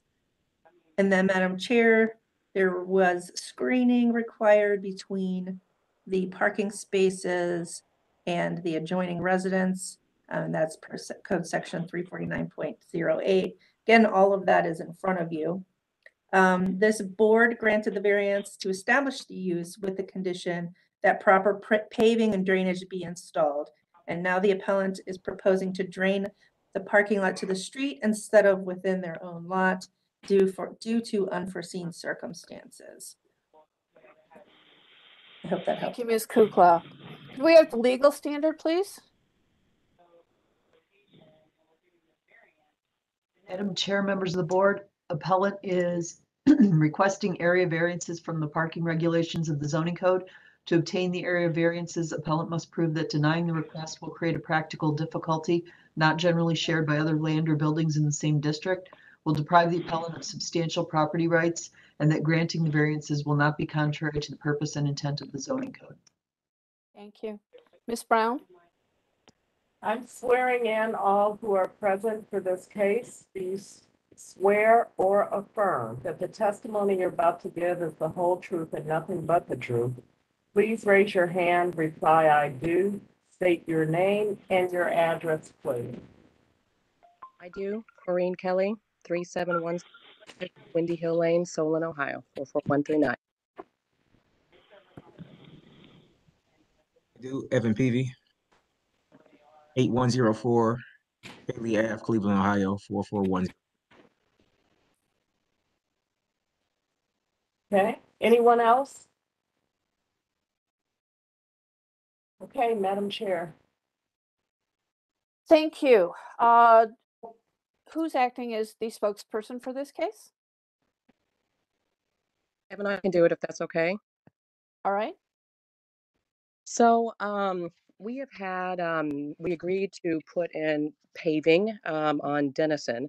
Um, however, when we agreed to do it, we didn't understand that the, the street is a cobblestone and it's older and there's no easy access to tie into a sewer. We had about twelve different companies come out, um, to try to get this work done. And actually, one of the companies, um, put a letter together explaining the difficulty of trying to put drainage into the lot um, which I believe Ms. Kukla has. And so what we're asking for um, are a couple of different options. One, to go ahead and pave it and let it drain into the street. or if that's a concern, to go ahead and leave it as gravel, which has been for a long time. And we've had the gravel rolled and it's very clean and it's very tight, um, to go ahead and leave it as gravel so there's no issue with the drainage. All right. Madam Chair, there is, I'm, I'm sorry, I, I actually had to take a phone call. Um, Sure. there, uh, there is one other option. We did meet with the applicant. I'm not sure if this was stated.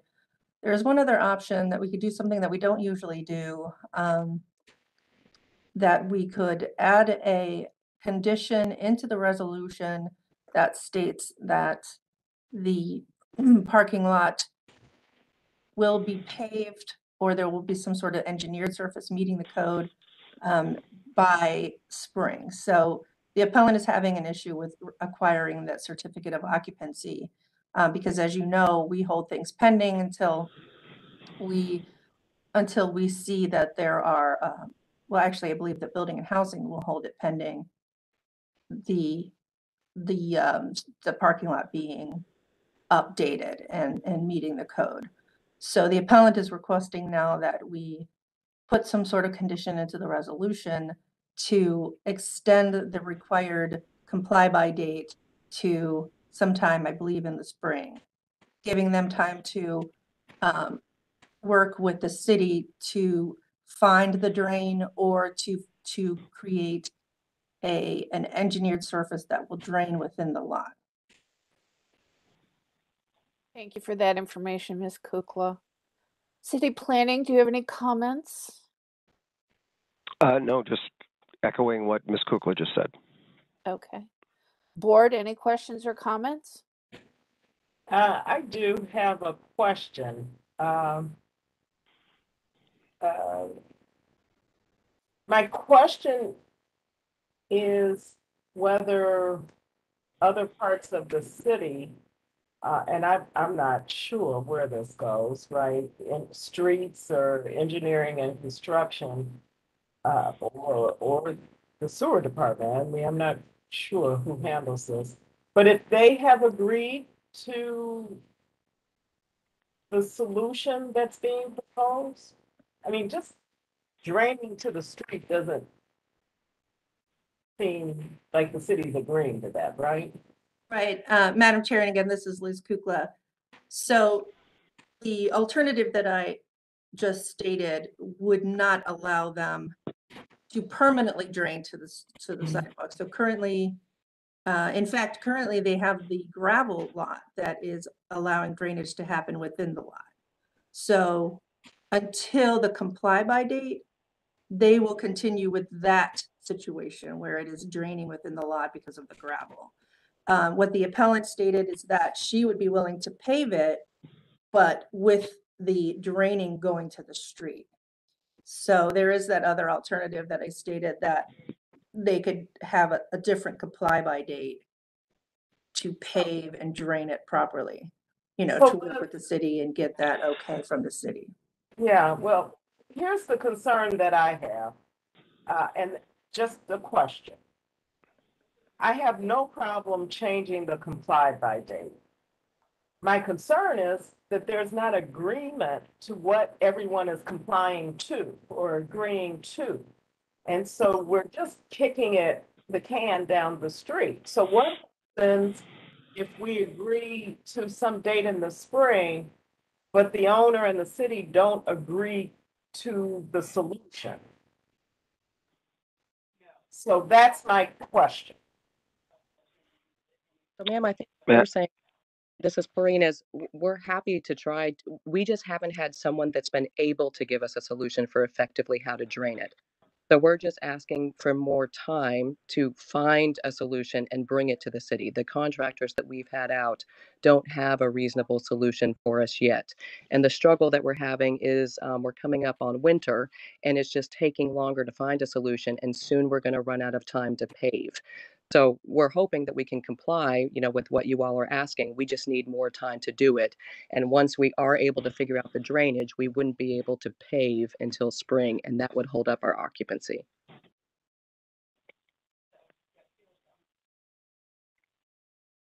Thank you for that response. Um, Mr. Williams, it, Yes, go ahead. No, go ahead. Go ahead. I'll answer your question first. Okay, um, I am recalling a case where we had a similar situation where it, um, it was not feasible to drain. And, uh, we requested that the, uh, the property owners install a permeable, uh, product so that it served as, um, not gravel, um, but, permeable, uh, cementitious product that would be sufficient for parking, but would also allow for adequate drainage on site. Um, is that something that would be applicable in this situation? Yeah, uh, Madam Chair, uh, yes, that would be applicable, and uh, to Mr. Riccardi, maybe he can weigh in too, but that would, that would qualify as an engineered uh, solution to drainage.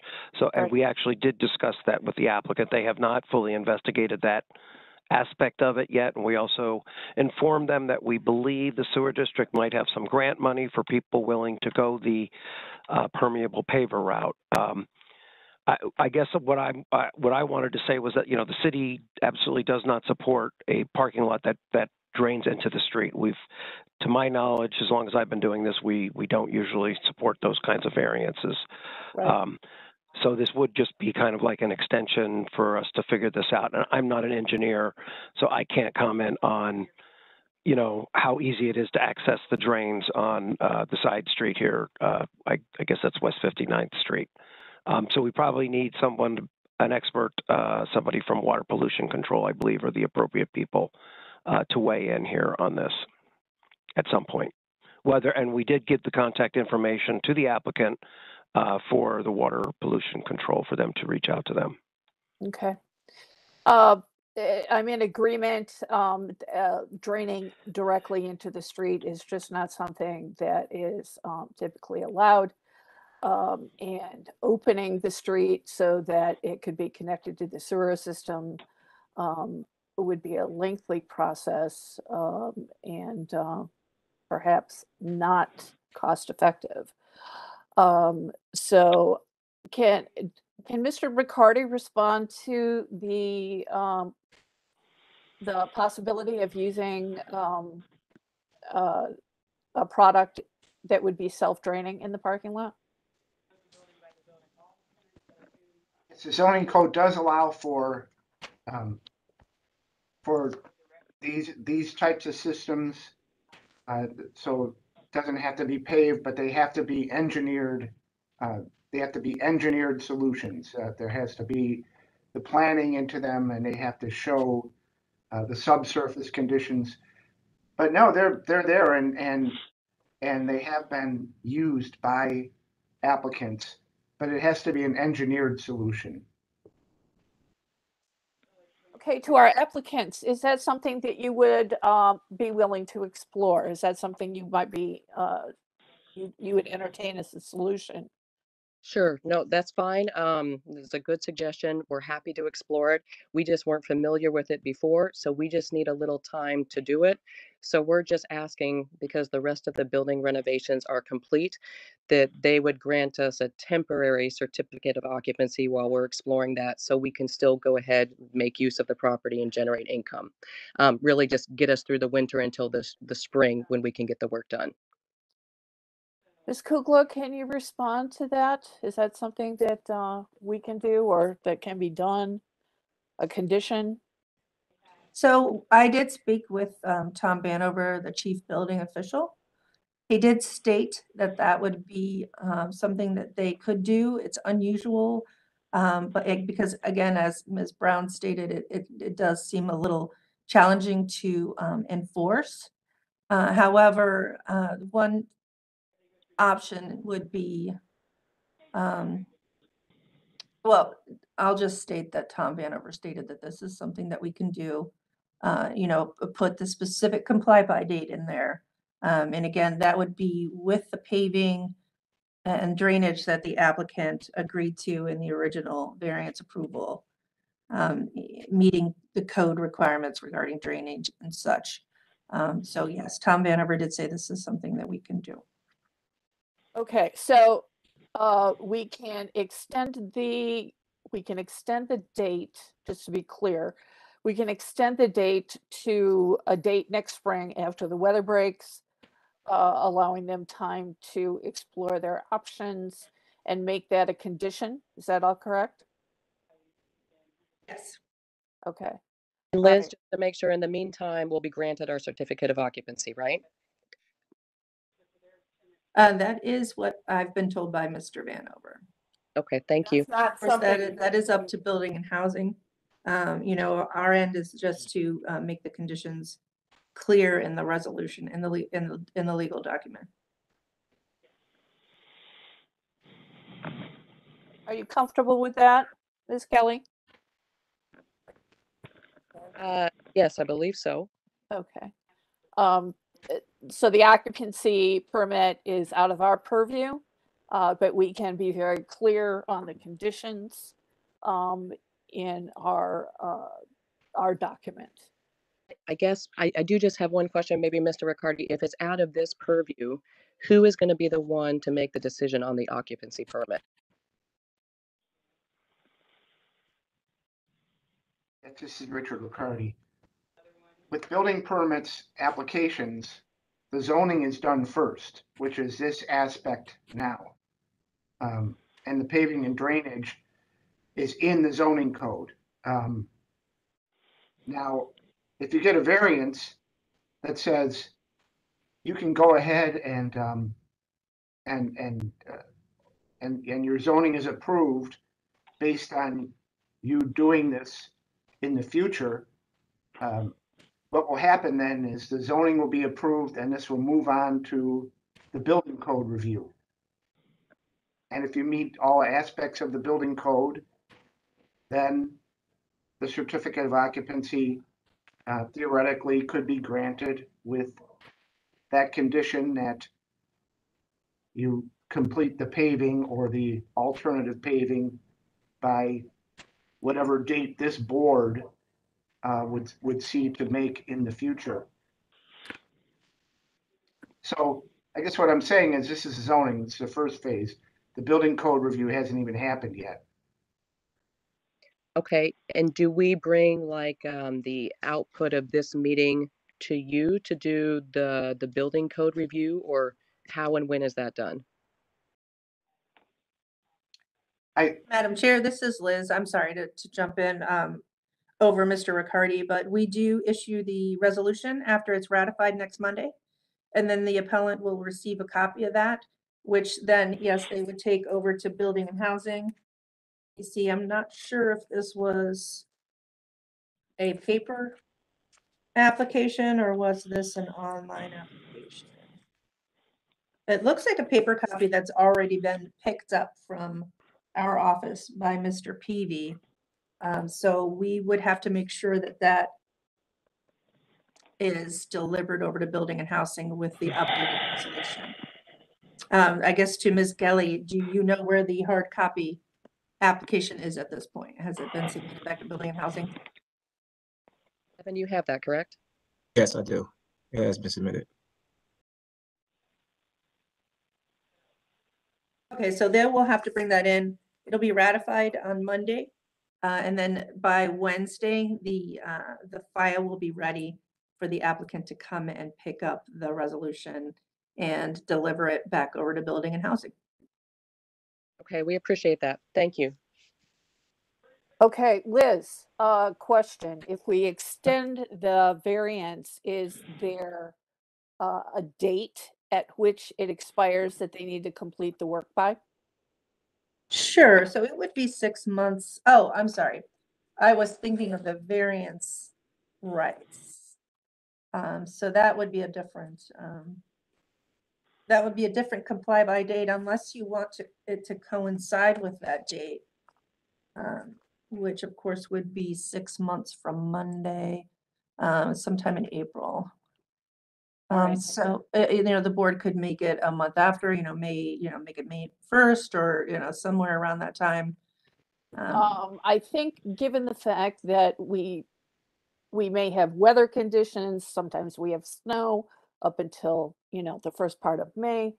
And that, uh, uh, building, building and construction projects are taking much longer than typical, um, I think I'd be inclined to extend past that date, um, probably at least to the first of June.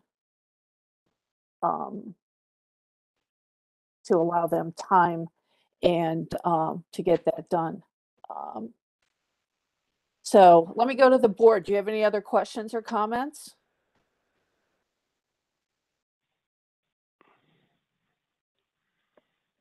I do not. Okay. Uh, is everyone clear on the situation? Anything need clarifying for anyone? Okay. Hearing no comments or questions, I will entertain a motion. Okay. Uh, I move reg- well, regarding calendar twenty-two one zero five, I move extension of the compliance period for the board variance approved July eleventh, two thousand twenty-two. Uh, a new compliance period, well, a new, a compliance period for, uh, draining, which one is this? For section three four nine point oh seven A with a new compliance period of June first, two thousand and twenty-three. I also advise, as indicated on, on the, uh, calendar, that we are not approving the appellant's request to drain the parking lot to the street. That we will ex- extend the compliance period for the appellant to have time to bring in an engineered solution for the draining uh, that would meet city requirements. And that is my motion. Thank you, Ms. Brown. Could I have a second? Board Member Holzer, second. Thank you. Ms. Kugla, could you call the roll, please? Sure. Ms. Roca, Yes. Ms. Holzer, Yes. Ms. Brown, Yes. Ms. B. Yes. Okay, calendar number twenty-two one zero five, the resolution um, decision made on July eleventh has been amended. The resolution for that case will be ratified next Monday, and then we will send the appellant a letter. The file will be ready on Wednesday. Um, and again, Madam Chair, I think maybe we could, uh, put an, um, another condition in there that the applicant submit those new drawings to the file here at uh, Board of Zoning Appeals before that. Absolutely. compliance Thank you for that friendly amendment. Okay, thank you. All right. Um, so that should give the, uh, to the appellants, that should give you time to explore some other options. Um, as, uh, Mr. Ruelens from City Planning noted, there may be an incentive for you to use, uh, an engineered product uh, that will self-drain on site. Um, but you also have the option of going through the process of connecting to the sewer. So, uh, good luck with that, and we'll look forward to getting your new drawings. Thank you. All right. Uh, on to old business. Could we have the resolutions on the screen? Thank you. So we have resolution one through five without objection board. No objection. Without objection. No objection. Thank you. Uh, anything else, Ms. Kugla? No, that's it. All right. You should adjourn. So we are adjourned. Thank you, everyone. Great job, Ms. Bye. Bates. Thank you. Thank you. it. Thank you. Thanks, everybody. Thank you. Have a good week, everyone. You too, thanks. Bye-bye. Thanks, everyone. All right.